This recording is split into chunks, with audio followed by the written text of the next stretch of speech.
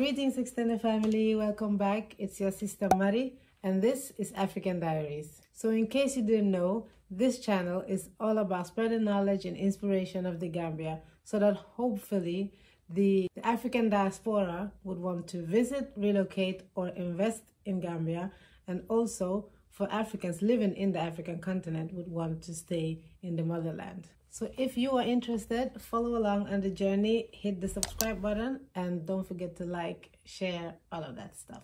All right, extended family. So in this video, I would like to speak to you about the work experience that I had um, three years ago in Gambia. But before we start, I just want to make a disclaimer and tell you that what I'm about to say in this video does not apply to every single Gambian staff member in the Gambian healthcare.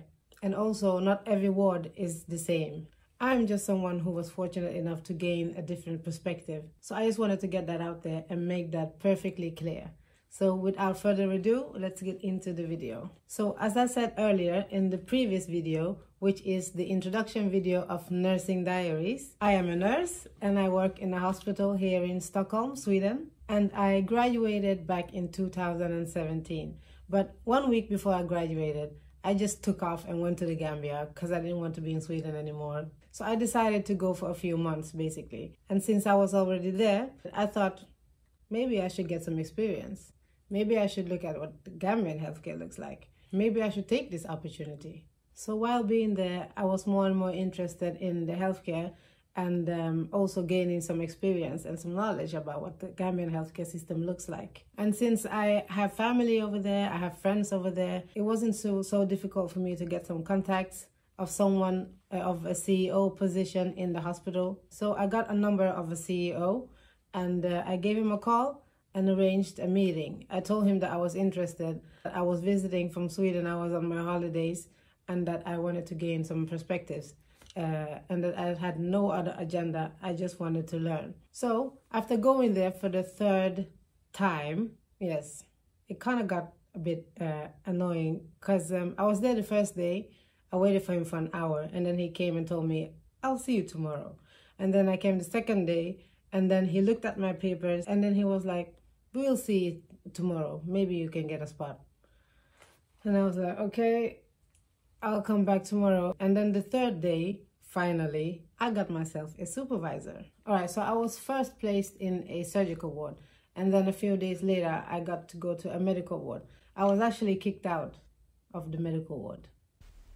Hey extended family, so when editing this video, I realized I never said anything about why I was kicked out of the medical ward.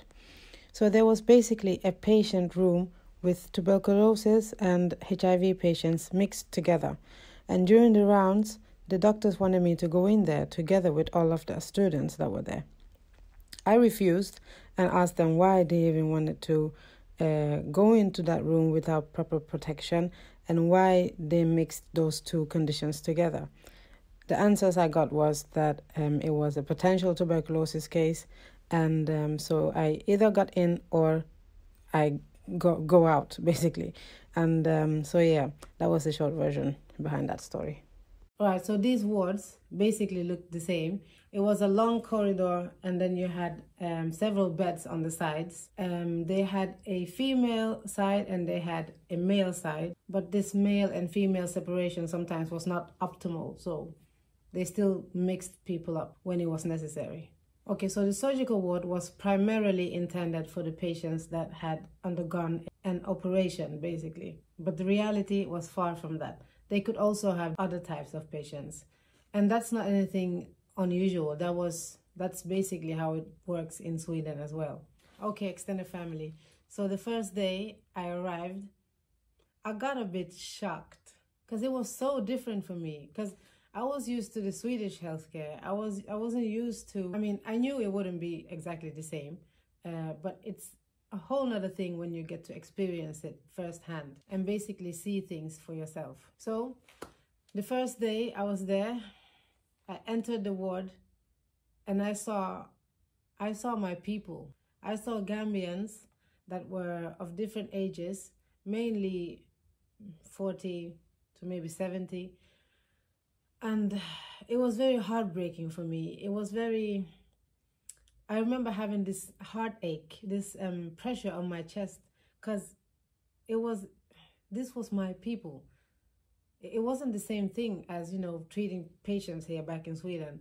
Um, this was this the, these people were Gambians. These people were these people were my people. I mean, it's another thing when you when you go to your home country and see firsthand what these people go through.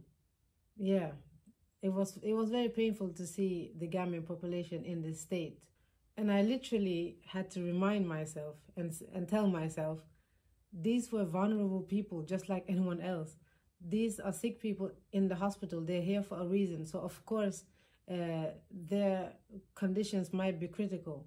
But I really remember having to um, having to tell myself over and over again that these are actually human beings that can go through stuff like this. Because I wasn't used to seeing my people in this state. Uh, I wasn't used to seeing Gambian people with, with those kind of wounds or those kind of illnesses. For me, it was it was a totally new thing. Even though I knew I was coming to a hospital, it was just I don't know, it was just something else.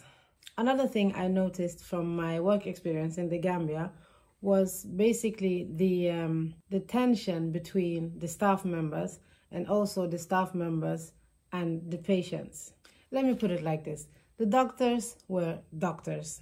He had the highest position in the hospital and when he entered the room, you could really tell he entered the room. There was no room for questioning, there was no room for challenging. There was basically no room for questioning him at all. And by the way, I actually didn't see too many female doctors. There was also something called the chief nurse, I believe it was called. So if the doctors weren't there, this chief nurse, I think, I don't know, it might be called something else, but this nurse, this head nurse, maybe it's called, uh, she was basically in charge of the of the ward. And um, depending on who the chief of nurse was or the head nurse, they could basically sometimes, in my opinion anyway, misuse this um this power that they had. And you could really tell that yeah, she is in charge. And compared to what I'm used to here in Sweden, I'm used to everyone kind of being on the same level, if you may. So whether it's a doctor, whether it's a nurse or a nurse's assistant, everyone basically has the room for questioning someone else's decision. I, as a nurse, have all rights to question a decision that a doctor makes. But I didn't really feel like nurses had that space with the doctors, depending on who they were. I mean, different people had different chemistry between them.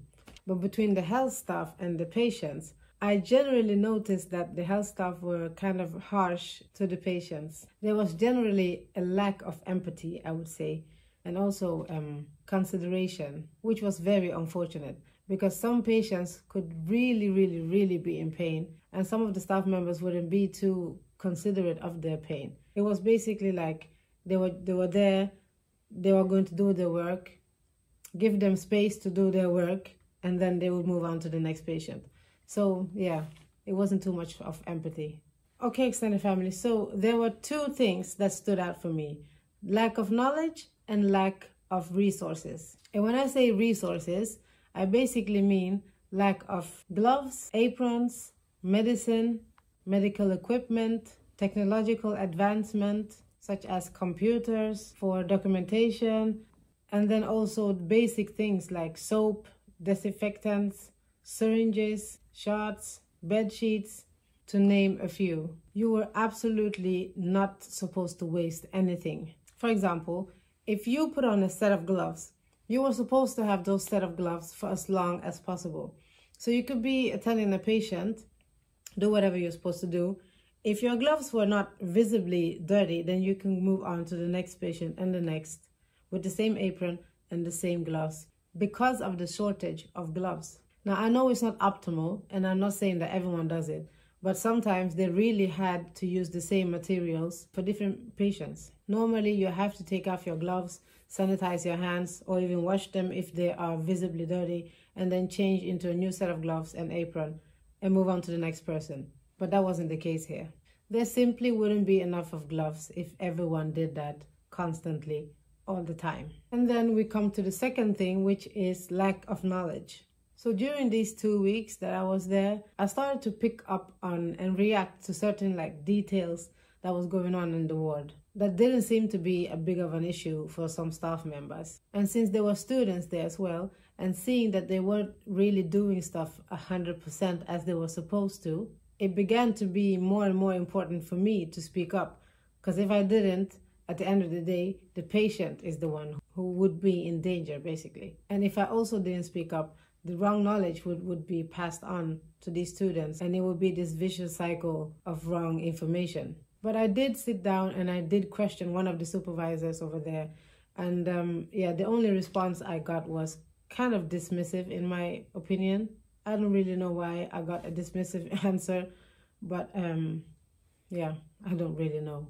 So, extended family, I also wanted to touch on my expectations that I had before going to these hospitals. So, when it comes to expectations, generally, I'm a person who doesn't like to have too much expectations from people or from experiences, whatever it can be. I don't like to have a lot of expectations. Having this mindset basically makes me less disappointed when something bad happens. But since I've heard a lot of negativities when it comes to the Gambian healthcare, when it comes to the staff of the Gambian healthcare, and also being a patient myself, I kind of didn't have a positive picture of how everything was going to go. And what I mean by this is that, first of all, I was going to a general hospital. I wasn't going to a private, fancy, very high class place. I was actually going to a um, public hospital. And you can really see the differences between private clinics to um, general public hospitals when it comes to the standard, when it comes to the equipment, etc. I also heard some negative things about the attitudes of the health staff especially the nurses. I know, I always heard um, negative stuff about the nurses. So all of this going on in my head, I just went in and uh, tried to gain knowledge and experience and trying to um, to have my own opinion about it basically and not listen too much to other people. So what did i take with me from my experience? It was actually three main things that i learned or that i want to acquire in the future which is so, as I said earlier, according to my own conclusions and my own analytics, knowledge was one of the key factors that I thought was really lacking. And since I am very solution orientated, that actually inspired me to do something about it. So, I got inspired to be the one to rectify the mistakes that I saw but also to spread the right knowledge so that the next person wouldn't do the same thing. The experience that I had from the Gambian healthcare inspired me to further my education and to become a healthcare lecturer. So, by that I mean I will be a teacher who educates nurses, who educate nurse assistants and other health staff members. And I have been wanting to do this for a very long time now. So, yeah, wish me luck. And so the second thing that I took with me from this experience was wanting to learn Mandinka. So since you guys might already know,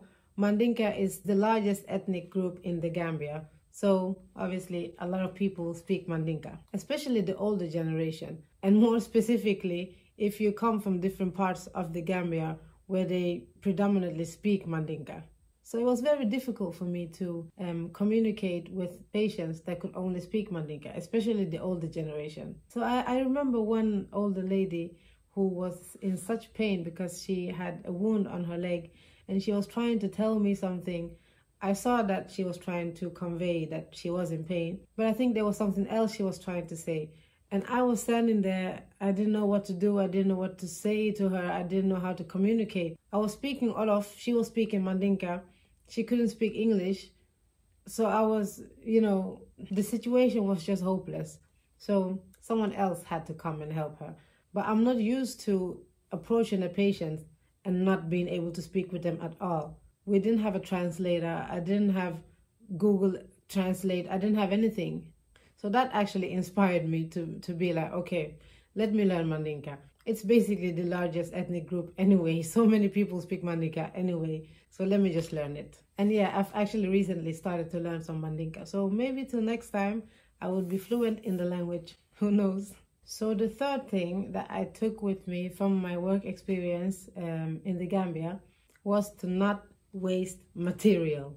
Since the lack of resources was such a big thing generally in the Gambia's healthcare, I noticed that when I came back to Sweden and started working as a nurse, I thought three times, sometimes four times, I started to think twice every time I changed my gloves, every time I changed my aprons, every time I I was using these syringes, every time I was basically utilizing material, I had to think twice and be like, can I use it again or do I really have to throw it away? Which is actually a good thing because as nurses, we're not supposed to waste material anyways.